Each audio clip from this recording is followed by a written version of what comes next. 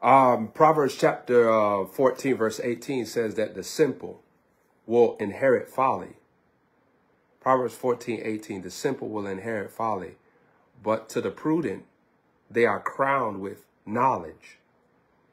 In Proverbs 18, Proverbs 14, verse 18, and Proverbs 14, verse 27 says that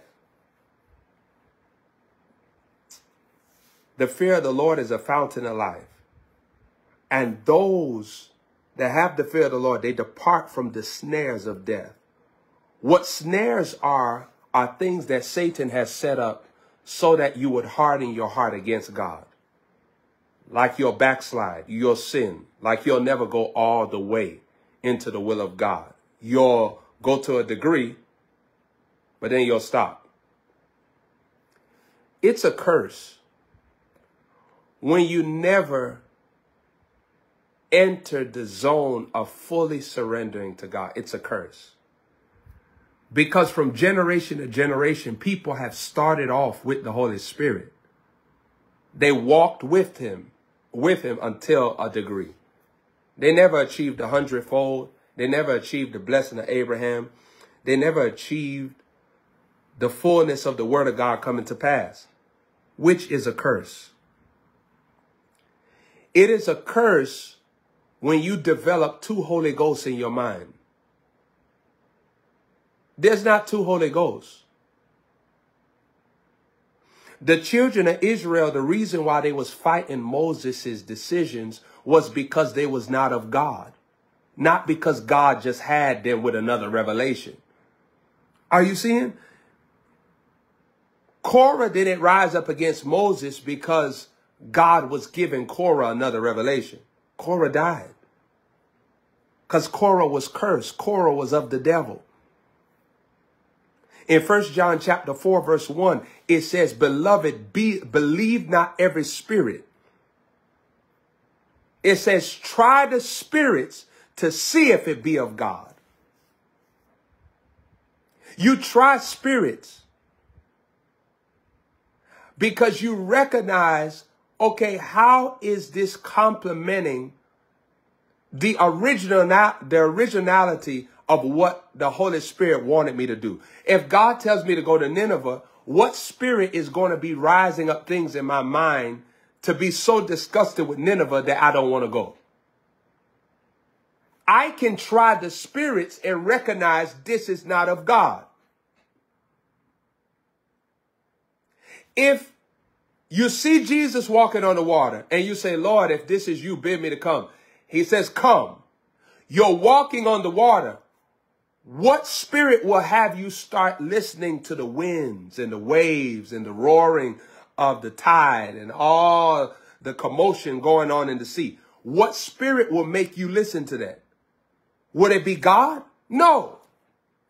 Because now you're not going to keep on walking on the water. I'm telling you this. First John chapter 4 verse 1 is revealing to you how to try spirits. That you must try spirits rather. You got to recognize what spirit am I listening to now? Yes, I was listening to God, but what spirit am I listening to now? You could change the spirit that you listen to. You could listen to the Holy Ghost on September the 11th and listen to the devil on September the 12th. You could change the spirits that you listen to. Every thought that comes into your brain is not from God. And if you follow a thought that's not from God, you are being guided to subject yourself to a spirit that's not of God. So I, I want to show you this. And this is the crazy thing about life. Oftentimes people act like they never listened to a demon. You act like you never followed a demon spirit. You, you act like every time you did something, it was God telling you to do it. Every time you said something, it was God telling you to say it. Every time you thought something, it was God giving you the thought. You act like you never obeyed a demon. That's the thing about man. So when you get with your man of God, how do you know that every thought that you have concerning your man of God is from God. How do you know? Because remember, you have a history of obeying demons in different areas of your life, whether it is sexually, whether it is uh, prescriptionally, your Oxycontin spirits, Propofol spirits, huh? Viagra spirits, 48 hour spirits. I'm not talking about murder. 48 hour spirits. So how is it when you get with your man of God, you think that no demons will ever speak to you? They spoke to you all throughout your life, and they were able to successfully get you to obey at certain parts of your life. Saints, if you want to be honest, you don't have children because it be the will of God sometimes. You have children because you're listening to a demon. The demon guides you to have a child. It's not God. It wasn't in God's schedule. It's not in God's book. It's just you. You have your will. You go to the hospital. It don't be in God's schedule. You get sick. It don't be in God's schedule. A demon is guiding your life. Guide you straight to the hospital. You get diagnosis with sickness. That sickness, that disease, don't be God's will. You're being led by a demon spirit. If you want to be honest, demons lead you all the time. So when you get with your prophet of God, your prophet enters in your life, enters into your life, it is a 911 moment.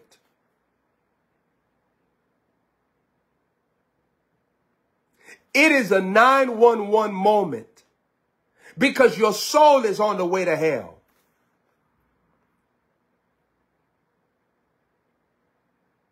And the Holy Spirit is interjecting, attempting to stop it. Your soul is on the way to the lake of fire.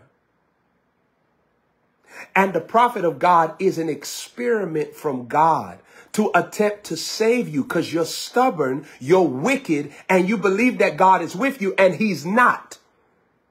He comes to you in the form of a prophet to come instruct you. You notice, I was telling you about the woman at Zarephath. The Bible said, God said that he told Elijah, I have commanded her. But when Elijah saw her, she did not say, oh, God commanded me. She don't know God's voice.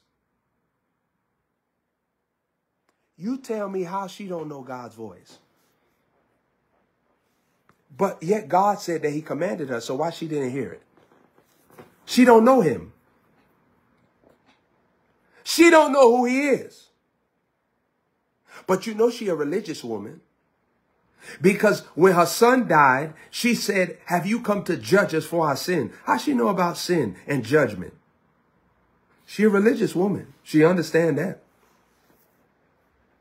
Then she said, now I know that you're a man of God when he rose her son from the dead. So she aware of that. She a religious woman. But how she don't know his voice? The Bible said in John chapter 10, my sheep know my voice, another one they will not follow. So she don't know his voice because she not his sheep. But yet he told Elijah, I have commanded her. I've spoken to her. But she don't know his voice. She don't know who God is. When your prophet come into your life, it will be exposed to you whether you really know God or not. How you treat that prophet. If you find yourself attacking that prophet, you know for sure you ain't got to check your thermostat, your blood type. You don't got to check your blood pressure.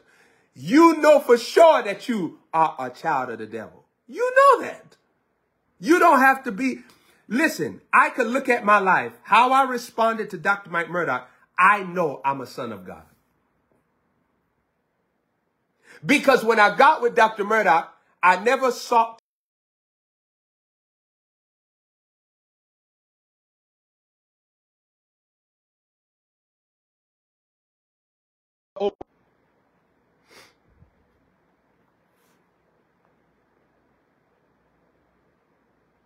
So I want you to understand when we deal, when we deal with you having the Holy Ghost, you'll know that you have the Holy Ghost on how well you could agree with your man of God. If you can't agree with them, you, do, you know that you have demon spirits in control. You know.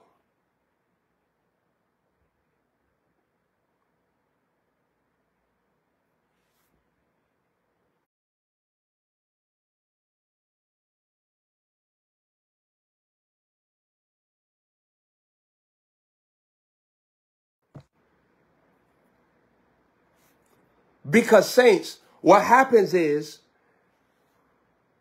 you don't pick when God is with you. Even Moses had to pray, Lord, go with me. He's praying because Moses not in control of that. God in control of that. He decide when he reveal himself to you. He decide when he choose to talk to you. He decide when he choose to manifest himself. John chapter 14 verse 21 says that he that hath my commandments and keepeth them, it, he it is that loveth me. And he will be loved of my father and I will love him and I will manifest myself to him. Look at, look at the stance that the Lord taken. He's saying, I'm going to manifest myself to him when I'm ready.